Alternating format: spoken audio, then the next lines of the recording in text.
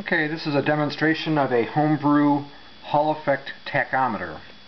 I'll point out the uh, pieces of this before we start the demonstration.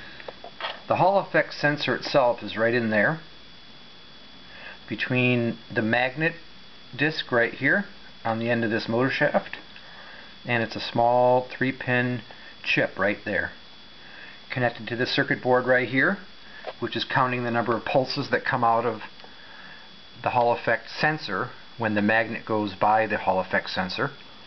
It counts those pulses and displays them here on the display.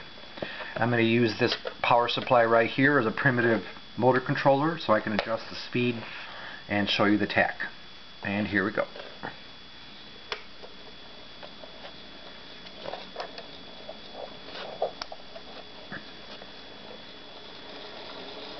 I'll go up to about 30 RPM to start maybe.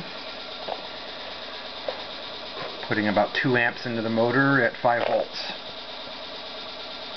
Okay, you can see the display right here.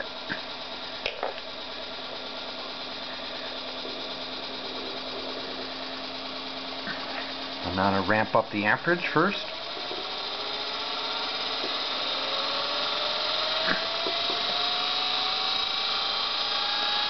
110, 120. You can hear the motor spinning up slowly because it's not getting much amperage.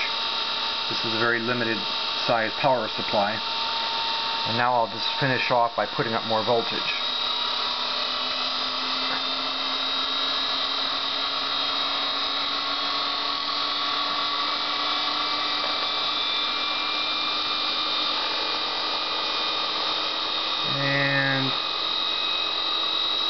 We're up to about 185 RPM.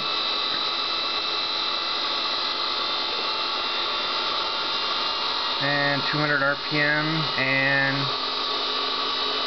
the voltage is continuing to go up as the motor spins up.